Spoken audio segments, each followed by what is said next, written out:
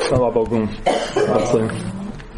Chciałbyśmy dzisiaj spojrzeli dalej też na Kościół Boży. Na Kościół, który się mieni Kościołem Bożym.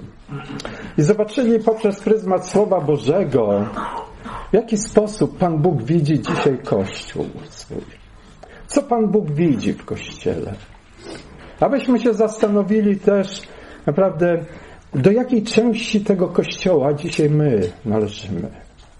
Jaką część my stanowimy, każdy z nas osobna, Bożego Kościoła. Rozważaliśmy Słowo Boże ostatnio w niedzielę, które pokazywało część Kościoła Bożego, która zaczęła jakby oddzielać swoje życie to zewnętrzne od wewnętrznego. W życiu którego zaczęła zanikać wiara, miłość, nadzieja, ale pozostały uczynki. Uczynki piękne zewnątrz. Byli to ludzie, którzy z zewnątrz nadal byli w oczach innych żywym Bożym Kościołem, czyniącym wielkie, wspaniałe rzeczy. Ale Pan spogląda na ich serca i mówi, ale nie jesteście tymi, którzy w których ja mam upodobanie. Bo gdzie wasza miłość, wasza wiara, wasza nadzieja? Utraciliście to. Jeżeli się nie upamiętacie i nie powrócicie do tego, to daremne i próżne wasze poświęcenia, wasze trudy, bo nie będziecie tam, gdzie ja jestem. Chciałbym, abyśmy spojrzeli dzisiaj na inną część Kościoła, o której Pan Jezus mówi. Kościoła, która znajduje upodobanie w oczach Pana. Kościoła, z którym On jest. Któremu On błogosławi. Ale błogosławi w sposób bardzo dziwny. Czasami wręcz przerażający. I dlatego dzisiaj coraz więcej chrześcijan odrzuca takiego rodzaju błogosławieństwo Boże. I powiada, my nie chcemy tego błogosławieństwa, Panie. My chcemy innego rodzaju Twoje błogosławieństwo.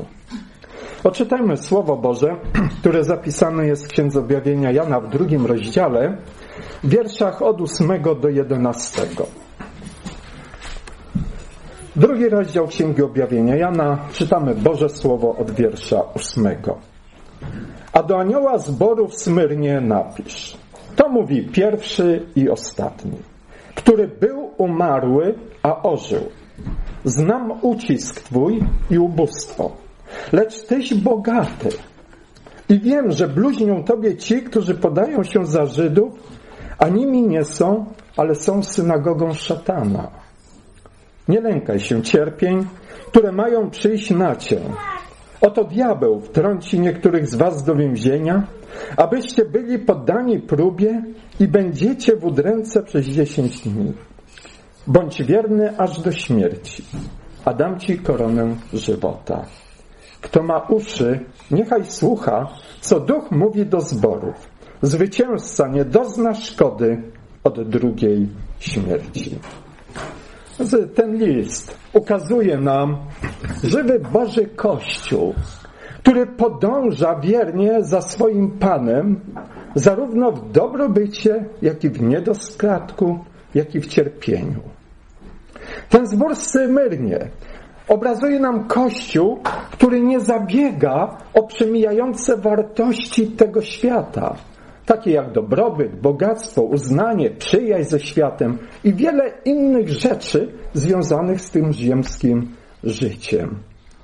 Widzimy tu Kościół, który nie ogranicza swej nadziei w Chrystusie, jak mówi apostoł Paweł w liście do Koryntian, do życia na tej ziemi. Ponieważ jego pragnieniem, pragnieniem tego żywego Kościoła, drodzy, jest podążanie drogą Jezusa. Jaką jest droga Jezusa? Biblia mówi, że jest to droga uniżenia i poniżenia, droga cierpienia i śmierci, ale droga, na końcu której jest uwielbienie i wywyższenie w Chrystusie. Drodzy, Kościół Smyrnie pokazuje nam żywy Boży Kościół, który żyje w bojaźni Bożej i w posłuszeństwie Ewangelii Chrystusowej oraz w posłuszeństwie woli Ojca swego w niebie. Jak słyszeliśmy, jak czynił to Jezus. I do czego On też dzisiaj wzywa Ciebie i mnie. Jakimi słowy Pan rozpoczyna list do tego zboru? Czytamy tak. To mówi pierwszy i ostatni, który był umarły, a ożył. Jest ciekawe pozdrowienie Pan kieruje do tego zboru. Ciekawe świadectwo. Ale są to słowa niezmiernej wagi, które mają niezmierne znaczenie w życiu tego kościoła, tej części kościoła, którego obrazem jest zbór w Smyrnie. Pierwsze są to słowa pocieszenia i pokrzepienia, jakie Pan kieruje do swoich wiernych sług, do swoich wiernych dzieci. Pan Jezus w tych słowach zwraca uwagę na swoją boskość, na swój odwieczny byt. On podkreśla, że On jest tym, przez którego i, i w którym wszystko się zaczęło. I On jest również tym, w którym i przez którego wszystko to się zakończy. I w wielu miejscach Słowa Bożego o tym czytamy. Czytajmy kilka wierszy. Apostoł Paweł w liście do Kolosan e, w pierwszym rozdziale, wierszu 16 pisze Ponieważ w Nim zostało stworzone wszystko, co jest na niebie i na ziemi, rzeczy widzialne i niewidzialne, czy to trony, czy panowania, czy nadziemskie władze przez zwierzchności, czy zwierzchności. Wszystko przez Niego i dla Niego zostało stworzone. On jest ponad wszelką władzą ziemską, ponieważ wszystko w Nim i przez Niego zostało stworzone. On ma władzę nad wszystkim, co jest na tym widzialnym świecie. On jest ponad tym wszystkim, ponieważ wszystko w Nim i przez Niego zostało stworzone. A dzień pański nadejdzie jak złodziej. Wtedy niebiosa z trzaskiem przeminą, a żywioły rozpalone stopnieją, ziemia i dzieła ludzkie na niej spłoną. Księdza Objawienia Jana w 22 rozdziale czytamy Oto przyjdę wkrótce, a zapłata moja jest ze mną, by oddać każdemu według jego uczynku. Jam jest alfa i omega, pierwszy i ostatni, początek i koniec. Błogosławieni, którzy piorą swoje szaty, aby mieli prawo do drzewa żywota i mogli wejść przed bramy do nieba. I w nim wszystko się zakończy. Przez niego. A więc, drodzy, Pan Jezus zwraca się do tego zboru swojego, do swojego wiernego zboru i mówi: Ja jestem Panem wszystkiego. Ja jestem Bogiem wszystkiego. Ja jestem pierwszy i ostatni. Nie było niczego przede mną i po mnie nie będzie. Tutaj, w tym widzialnym świecie. Ponieważ ja to wszystko uczyniłem. I ja to wszystko pewnego dnia z powodu nieprawości i grzechu zniszczę. E, pięknie tą prawdę, drodzy, o Jezusie, naszym Panu i Zbawicielu, ukazuje prorok Izajasz w słowach, które mówią tak. Tak mówi Pan Król Izraelski i Jego Odkupiciel, Pan zastępów. Ja jestem pierwszy i ja jestem ostatni, a oprócz mnie nie ma Boga. Słuchaj mnie, Jakubie, i ty, Izraelu, którego powołałem. Ja to jestem, ja pierwszy i ja ostatni. Pan Jezus zwraca się do swego kościoła, do tego, który cierpi, z powodu wiary w Jezusa. I pociesza go, mówiąc, że On jest jedynym Panem i Bogiem. On jest Panem i Królem, do którego należy wszelka moc i władza na niebie i na ziemi. Pan mówi, że wszystko przez Niego dla Niego zostało stworzone. Pan mówi, że On jest Twoim odkupicielem. Pan mówi, że to On powołał Ciebie i odkupił Ciebie na swą własność. Pan mówi, że Ty należysz do Niego i On zachęca Cię. W związku z tym zaufaj mi, bądź mi wierny, ponieważ ja nad Tobą czuwam. W Ewangelii Łukasza czytamy w 21 rozdziale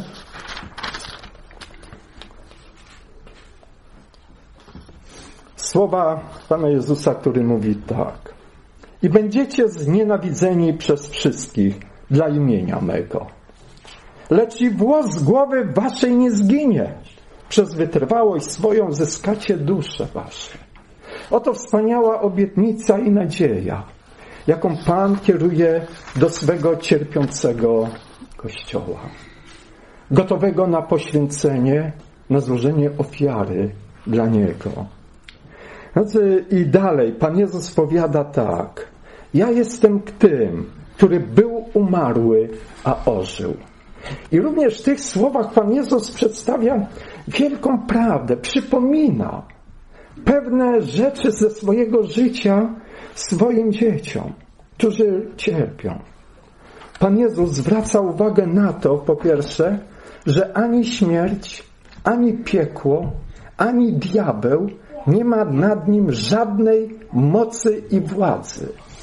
Ponieważ to On pokonał śmierć, ponieważ to On pokonał piekło, ponieważ to On pokonał diabła, gdy trzeciego dnia powstał z martwych.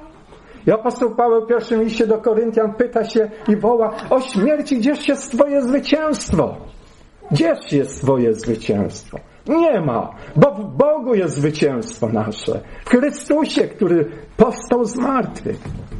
I Pan Jezus przypomina nam, że tą drogą, którą kroczy dzisiaj Jego cierpiący Kościół, On już wcześniej przeszedł. On tą drogą kroczył. Czytamy, że Pan Jezus przyszedł do swoich, ale swoi Go nie przyjęli. Zgardzony był i opuszczony przez ludzi. Mąż boleści, doświadczony w cierpieniu. Nasze cierpienia wziął na siebie. Zraniony jest za występki nasze. Znęcano się nad nim. Śmiertelnie został zraniony. Cały rozdział 53 Księgi Zajasza o tym mówi. A na koniec, jako złoczyńca, zgonął w wielkich mękach i cierpieniach, przybity do krzyża. Ale trzeciego dnia Pan Jezus Chrystus w wielkim triumfie zmartwychwstał, odnosząc zwycięstwo nad diabłem i wszelkimi jego mocami, nad śmiercią i piekłem.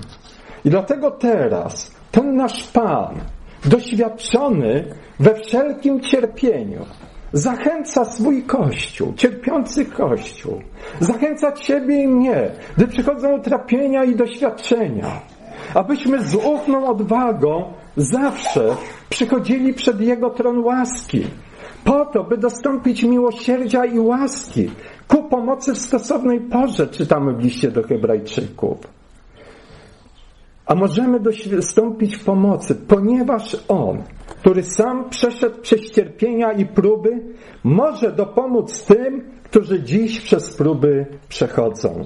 Pamiętaj o tym że nikt nie jest i nie będzie w stanie pomóc Tobie w czymkolwiek, gdy przyjdą trapienia, troski, cierpienia. Ale jest ktoś, kto będzie mógł i kto to czyni w sposób doskonały. Gdy do Niego będziesz wołał, gdy zbliży się do tronu Jego łaski. Jest to Jezus Chrystus.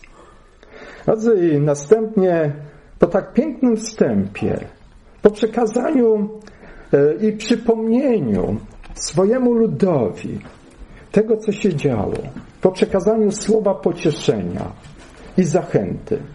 Pan Jezus wydaje piękne świadectwo o tym zborze. Nie ma żadnej nagany dla tego zboru. Nie widzi w nim wad, które by e, wymagały jego nagany. Nie znajduje w tym zborze czegokolwiek, co mogłoby stać się przyczyną jego oskarżenia. Tak jak było to, miało to miejsce względem zboru w Efezie, o którym czytaliśmy. Wiecie, i tu przypominają mi się słowa, e, które zapisał ewangelista Mateusz w odniesieniu do Pana Jezusa. W 26 rozdziale, że szukano nawet fałszywego świadectwa przeciwko Jezusowi i nie znaleziono. Wobec tego zboru Pan nie znalazł niczego, co by wymagało kary, nagany, ponieważ to był zbór, który kroczył drogą Jezusa. Drodzy, tylko Kościół, który wzrasta, e, tylko Kościół, ten będzie wzrastał w doskonałości Chrystusowej, który będzie cierpiał i cierpi dla imienia Jezus za wiarę swoją. Kościół, który nie doświadcza cierpienia, to Kościół, który tak naprawdę nie zna drogi Jezusa. Czy Ty i ja dzisiaj idziemy drogą Jezusa? Czy idziesz drogą Jezusa? No co, co dalej mówi Jezus odnośnie tego zboru? Powiada tak. Znam Twój ucisk i Twe ubóstwo. Znam Twój ucisk. Znam Twe utrapienia, Twe udręki, których doznaję ze strony otaczającego Cię świata, ale nie tylko ze strony świata. Znam również Twój ucisk i udręki Twoje, które spotykają Ciebie ze strony tych, którzy uważają się dzisiaj, byśmy mogli powiedzieć, za dobrych chrześcijan, ale którzy odrzucili moją drogę, obierając drogę przyjemną dla swojego ciała, opartą na kompromisach i przyjaźni ze światem. Pan Jezus mówi, bluźnią ci, tobie, którzy podają się za Żydów, a nimi nie są. Ale są synagogą, to słowo mówi też zgromadzeniem szatana. Każda społeczność, która odrzuca drogę Chrystusa, Pan Jezus mówi, jest drogą szatana, zgromadzeniem szatana. Tak mówi Słowo Boże. Apostoł Paweł powiada, z pomiędzy was samych wyjdą przewrot, mężowie, którzy będą mówić przewrotne rzeczy, aby uczniów pociągnąć za sobą.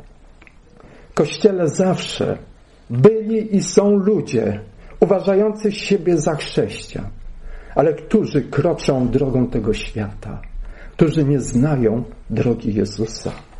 I dlatego też są to ludzie, którzy nie mogą ścierpieć Ewangelii Chrystusowej, ani tych, którzy tą Ewangelią żyją, którzy tą Ewangelię zwiastują, którzy tej Ewangelii się trzymają. Dlatego są to ludzie, którzy będą podejmować zawsze walkę przeciwko szczerym uczniom Jezusa. Jak mówi Pan Jezus, rzucając na nich różnego rodzaju obelgi, oszczerstwa, zniewagi. Tego doświadczał Kościół w Smyrnie, ponieważ byli tam ludzie, którzy nie mogli znieść Ewangelii Chrystusowej i nie byli w stanie gotowi iść drogą Jezusa. Dlatego ci, którzy to czynili, byli ością w ich oku. Pan Jezus drodzy jasno określa, że tacy ludzie nie są Jego Kościołem, ale są zgromadzeniem szatana. Każdy, powiada Jan, pisze Jan, kto poddaje wątpliwość Ojca i Syna, kto poddaje wątpliwość Słowo Boże jest antychrystem. Czytamy w pierwszym liście Jana w drugim rozdziale. To są słowa Boże. Tak mówi Bóg. My często chcemy gładzić pewne rzeczy. A co to zaszkodzi, że ktoś pójdzie trochę inną drogą od tej, o której mówi Chrystus? A może się upamięta i pewnego dnia znów powróci. Może. Ale Pan Jezus mówi, on nie jest moim, bo nie idzie moją drogą. Takie są słowa Jezusa. No ale Pan Jezus mówi do tego zboru, znam twój, Twoje ubóstwo. Jaki ten zbór był? Ubogi. To słowo mówi o niedostatku, a wręcz o nędzy. A więc ten zbór przechodził nędzę w swoim życiu. Wielu rzeczy nie miał. Wiele brakowało być może mu często środków do życia. Być może często był pozbawiany tego, co ma z powodu wiary w Jezusa. Ale to był zbór, który był bogatym w Bogu. Pan Jezus powiada, aleś ty bogaty. Ty masz bogactwo, którego nikt nie ma, którego tobie będą zazdrościć kiedyś. Bogactwo, które jest w niebie. Wbrew temu, co ludzie widzą i mówią o tobie. Wbrew temu, co czuje twoje ciało. Ty jesteś bogaty w Bogu, mówi Jezus. Skarby i bogactwa tego świata, mówi Pan Jezus, które są często korzeniem wszelkiego zła, są złudne i ulotne i pewnego dnia przeminą. Ale Pan Jezus mówi, ale Ty masz skarb w niebie, który nigdy nie przeminie. Ty masz wspaniałe dziedzictwo w niebie.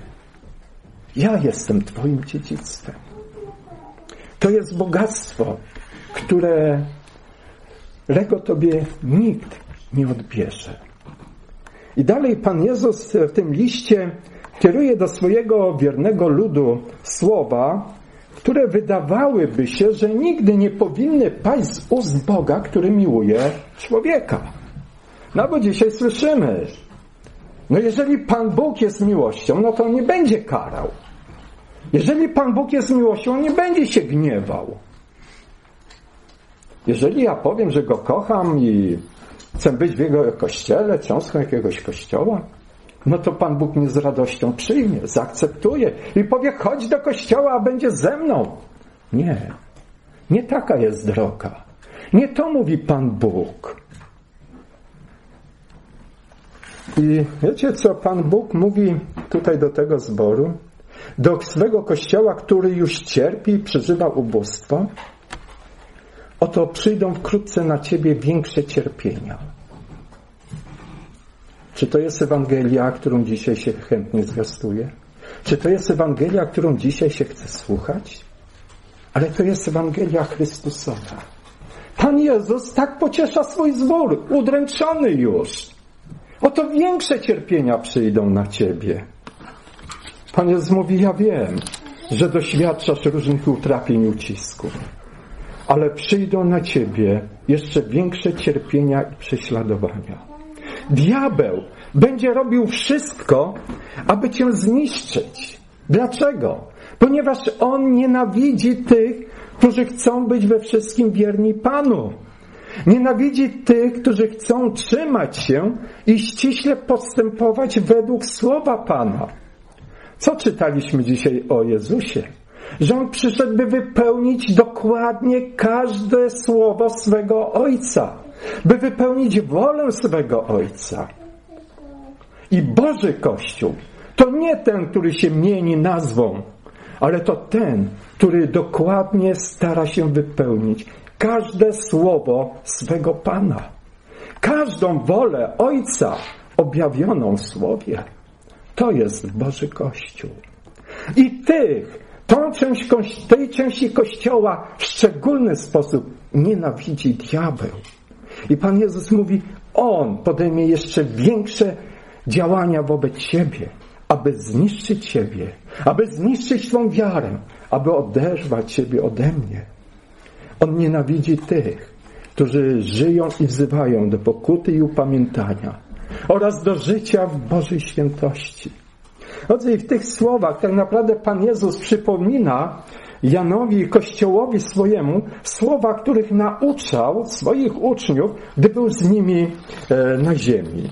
I odczytajmy jeden fragment z Ewangelii Jana z 15 rozdziału, wiersz 17 i poniżej.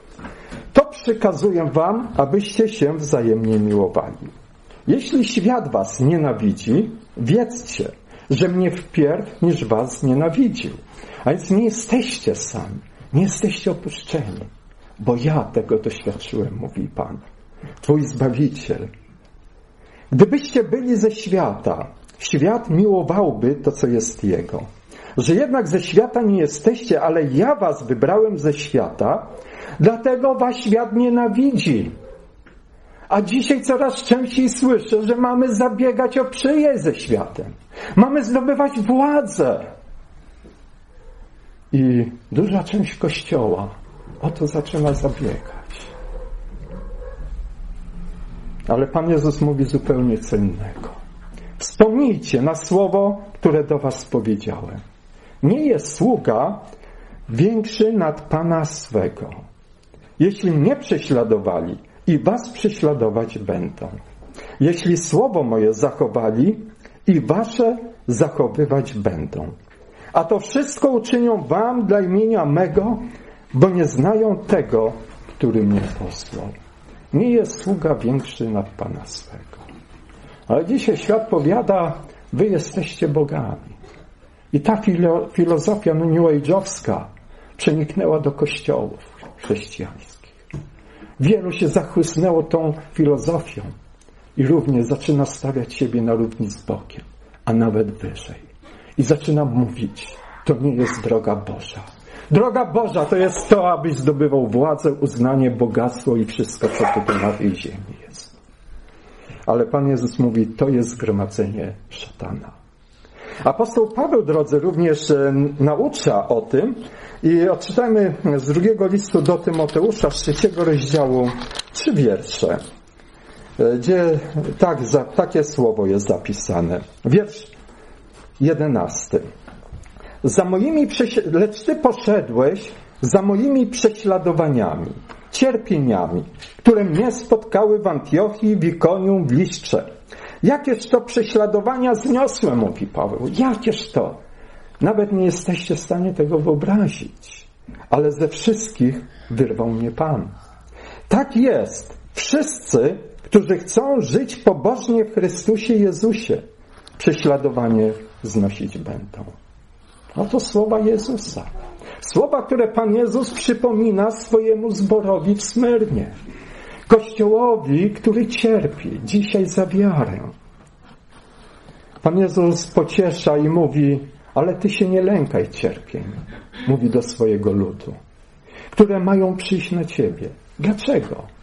Dlatego, że Pan Jezus powiada, ja je przeszedłem i ja będę z Tobą. Ja jestem z Tobą. Ja Cię wzmocnię i Cię przeprowadzę zwycięsko poprzez wszystko. A Ty bądź wierny mi aż do śmierci, a dam Ci koronę żywota. Prorok Izajasz w 43 rozdziale również w piękny sposób przedstawia tą wspaniałą prawdę odnośnie naszego Pana, Zbawiciela. Poczytajmy e, kilka wierszy z tego rozdziału. 43 rozdział Księgi Izajasza, pierwszych pięć wierszy. Lecz teraz tak mówi Pan, który Cię stworzył, Jakubie, który Cię ukształtował, Izraelu. Nie bój się, bo Cię wykupiłem. Nazwałem Cię Twoim imieniem, moim jesteś. Teraz mówi Pan, który Ciebie stworzył. To Pan Ciebie stworzył. To Pan Ciebie ukształtował. To Pan Ciebie wykupił, jak czytamy w liście do Tytusa, na swoją własność. I to Pan mówi, nie jesteś obcy mi, ale jesteś moim dzieckiem. Gdy będziesz przechodził przez wody, będę z Tobą, a gdy przez rzeki nie zaleją Cię. Gdy pójdziesz przez ogień, nie spłoniesz, a płomień nie spali Cię. Bo ja, Pan, jestem Twoim Bogiem, ja, święty Izraelski, Twoim wybawicielem. Dlatego, że jesteś w moich oczach drogi, cenny i ja Cię miłuję, więc daję ludzi za Ciebie, narody za Twoje życie. Nie bój się, bo ja jestem z Tobą. Oto słowa naszego Pana. Ja jestem z Tobą. Pan nie mówi, że nie będziesz przechodził przez ogień i wody. Będziesz przechodził. Ale Pan mówi, ale ja będę z Tobą. I tą wspaniałą nadzieję On kieruje do swoich wierzących, do swego ludu w Smyrnie. Kieruje dzisiaj do Ciebie, do mnie, do tych, którzy cierpią za wiarę, do swego cierpiącego Kościoła. Czy taki obraz Kościoła dziś jest zwiastowany? Czy znasz taki Kościół Boży? Drodzy, jest to obraz Kościoła, który dzisiaj często próbuje się wymazać sprzed oczu ludzi. Jaki więc Kościół staje się mile widziany? Kościół wielki, bogaty, zdrowy, Kościół tańczący, czerpiący z uciek tego świata, Kościół mający pieniądze i władzę. Dlatego wielu chrześcijan, nie mogąc cierpieć, jak mówi apostoł Piotr, zdrowej nauki, według swoich upodobań zbiera sobie nauczycieli i nauczycielki współczesne Izabele, którzy głoszą to, co ucho chce. Jest to Kościół odstępczy. Jest to Kościół, który odchodzi od prawdy i zwraca się ku baśniom, mówi Paweł w drugim liście do Tymoteusza. Jest to Kościół, który tak naprawdę nie jest zainteresowany prześladowanym Kościołem, prześladowanymi chrześcijanami, niesieniem pomocy, który nie jest zainteresowany nawet modlitwą o ten Kościół, wspieraniem go w swoich modlitwach, który nawet nie potrafi się modlić o ten Kościół. Dlaczego? Ponieważ Kościół, o jakim mówi Bóg, burzy obraz Jego własnej wizji wizji ziemskiego szczęścia, dobrobytu i sławy. Pan Jezus nikomu nie obiecał e, spokojnego, bezpiecznego, beztroskiego i błogiego życia tu na ziemi. Pan Jezus takiego życia nie obiecywał, ale wręcz odwrotnie. Pan Jezus powiada i mówił, że mamy brać swój krzyż, Jego jarzmo, które jest miłe i lekkie i iść za Nim, naśladować Go. Jednakże w tym słowie również zawsze dawał i daje słowo pocieszenia. Nie lękaj się cierpień, mówi, które mają przyjść na Ciebie i przyjdą na Ciebie, gdy będziesz chciał być wierny Mu aż do śmierci. Przyjdą na Ciebie, ale nie lękaj się tych cierpień. Nie lękaj się wrogich postaw ludzi, bo przyjdą takie postawy. Nie wylękaj się różnych pomówień, oskarżeń. Być może również cielesnych ataków. Nie lękaj się. One przyjdą, ale ja jestem z Tobą, mówi Pan. Dlaczego Pan Bóg dopuszczał wtedy i dopuszcza dzisiaj do takich cierpień, doświadczeń w życiu swego Kościoła? Odpowiedź znajdujemy również w dziesiątym wierszu tego listu, który Pan kieruje do zboru w Smyrnie. Abyście byli poddani próbie. Każde doświadczenie, drodzy, jest próbą naszej wierności wobec Boga. Bo dzisiaj każdy powie, że jest wierny Bogu. Ale co się dzieje z tymi ludźmi, gdy przychodzą utrapienia? Gdy przychodzą cierpienia? Ilu z nich zaczyna bluźnić Bogu? Ilu z nich zaczyna odwracać się w ogóle od wszystkiego, co związane jest z Kościołem? Tylko, drodzy, doświadczenia ujawniają w życiu człowieka to, co jest imitacją i pokazują to, co jest czyste i doskonałe. Wszystko, czego brakuje, a powinno być, drodzy, ujawnia się w piecu doświadczenia. Mówi Pan Bóg.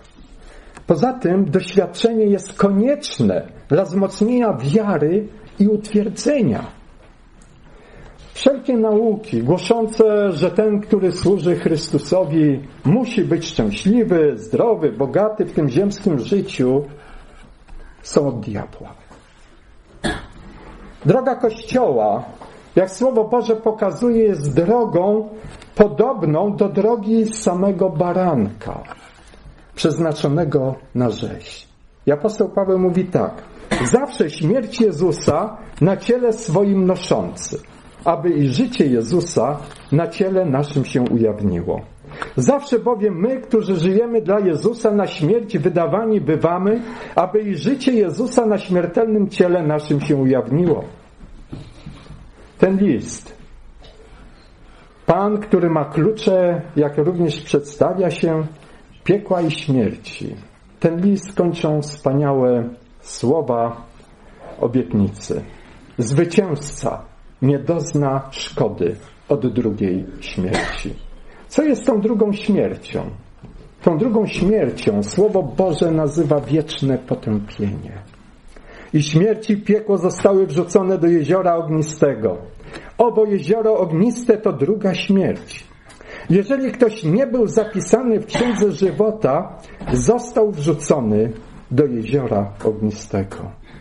Tak naprawdę nikt z nas nie jest w stanie sobie wyobrazić e, mąk, które staną się udziałem wieczności tego świata, które staną się udziałem wszystkich bezbożnych, które staną się udziałem tych, którzy zaparli się Jezusa, tych, którzy zamiast drogi Jezusa obrali swoją własną drogę w Kościele i nią kroczyli.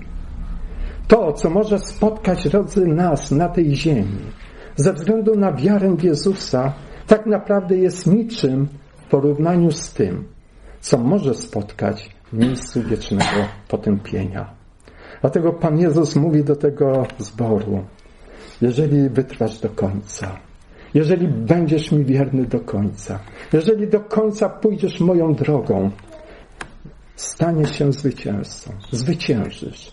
I ja Ciebie jako zwycięzcę wprowadzę do wspaniałej wieczności w domu Ojca mego w niebie. Drodzy, i pytanie, które dzisiaj Pan Bóg stawia przede mną, przed Tobą. Jaką drogą w swoim życiu kroczysz? Nie myśl, że pewnego dnia może wszystko się ułoży tak po Twojej myśli, ponieważ dzisiaj żyjesz tak, jak Ty chcesz. Ale pewnego dnia będzie za późno na jakąkolwiek zmianę. Dlatego Pan zachęca i wzywa. Mówi, nie bój się cierpień, które spotkają Ciebie. Ale powiesz mi swoje życie, zaufaj mi i krocz za mną, moją drogą, a ja Ciebie zwycięsko przeprowadzę przez wszystko, aż do tego wspaniałego miejsca w niebie. Niech Pan da nam, sprawi, abyśmy pewnego dnia jako zwycięzcy mogli stanąć przed Jego tronem, tam w domu Ojca w niebie. Amen.